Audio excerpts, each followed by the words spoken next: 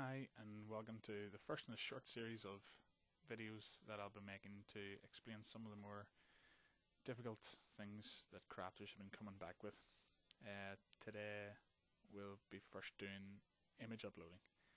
So here you'll see the main crafter login page. So if you want to log in, go here type in your details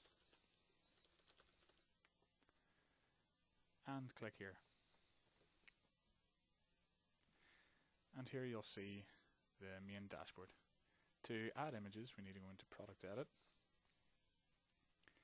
And here I've got a few test products that have been disabled, they're not visible in the store.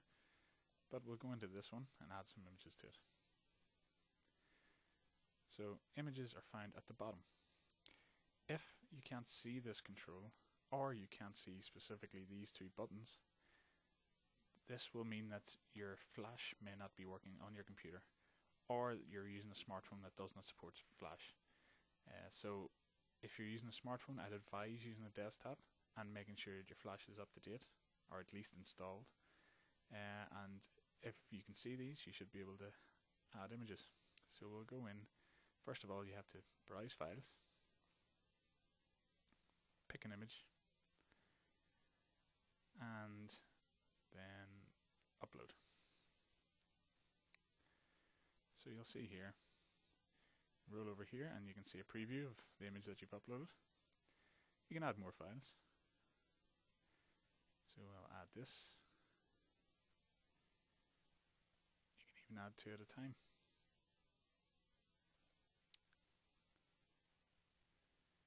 But don't add two in the same pop-up window.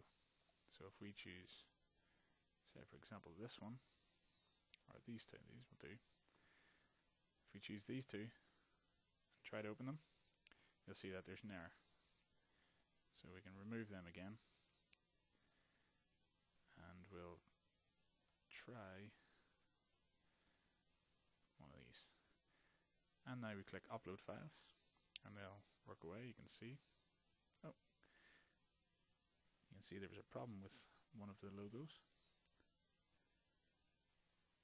So we can try that again. That was this one.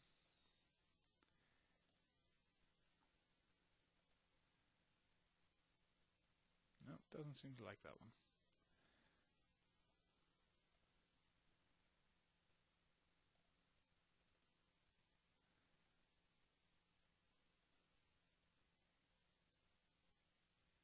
Likes this one. So this means that your file must be in JPEG format for it to work. The one that I tried to upload was in PNG format, PNG, and it wouldn't upload correctly. But you can see here that these are loading away and uploading. So the most important thing here is to make sure that you haven't selected this no image line as your thumbnail, small image and base image. These are used for the product listings uh, and from within your your product. So you need to set these to the specific pictures that you want displayed for your product. So here we will set this first one as all three.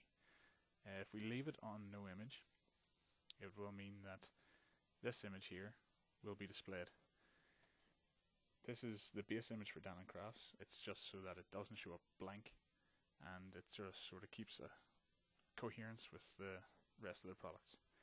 Uh, but you want to show off your image as best as possible. So you need to select these three. So once done, you can go to save. That'll work away for a short time. And it'll go back to this screen My Product screen. You'll see the product has been saved. So hopefully when we go back in here, we will go down to the bottom and here are our images. And as you can see, all set. And that's basically how you upload your images. If there's any questions that, get back to us at info at. Thanks.